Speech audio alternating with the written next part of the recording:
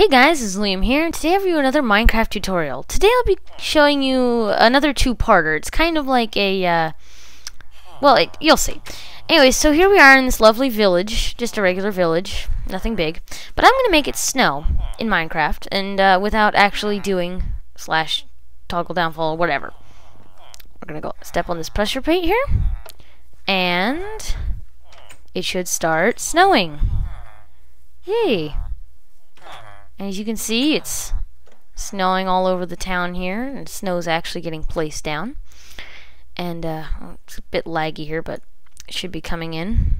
So basically, what's happening here is snow is falling from the sky and landing all over the place. And you're probably wondering, how's he doing this? Well, I'll show you.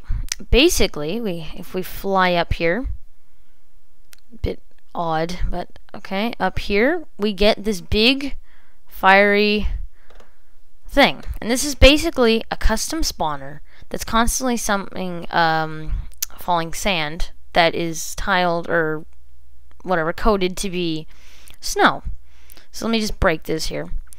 And so snow is just one of the many options for this. You can also do something like this basically what I did was I um, coated the falling sand for obsidian and then I put the I did the command and then it put it um, put the spawner up there and it all started falling. So basically what you can do with this is you can have randomly generated terrain using only one command block. And I mean it's not perfect and it looks kind of odd at points, but it is really cool if you want to have an adventure map that's completely randomized. So let's get into the command here.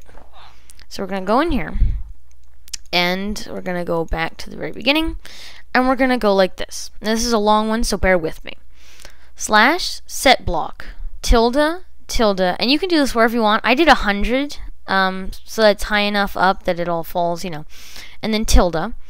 And then you can just put in the ID, but I put uh, Minecraft colon mob underscore spawner, and then you do zero, and then replace. So that's in case anything's there, although I don't think it works like that. And then you do delay colon one, so it um it delay like it puts a delay on how quickly it spawns. I think if you want a more in-depth uh, tutorial, you, you might want to go to Dragnoz's channel, but this is this is how you do it in here. And then you do spawn data um, colon and then entity ID falling sand.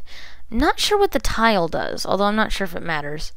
And then you do time 50 and tile ID for the snow you do 78 and you can just figure out the different um, uh, IDs for different blocks.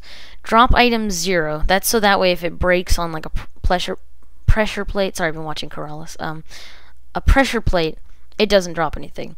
And then do item entity ID falling sand. I don't know why you have to repeat it.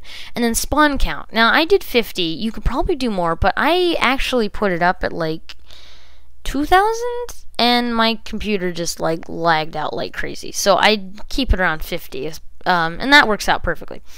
Uh, then do spawn range 100, delay colon 1. You could also do that to 0, but basically what I did is so that way it's constantly falling.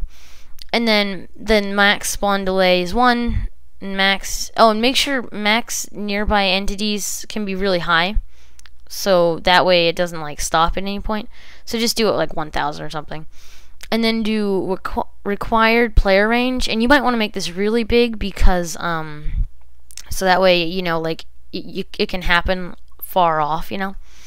So that's basically it guys. Thank you for watching and uh, be sure to check out my channel and possibly even subscribe. Also don't forget to bludgeon that like button and check out Dragnoz's uh, custom spawner tutorial for a more in-depth explanation also, command will be down in the description, so thanks.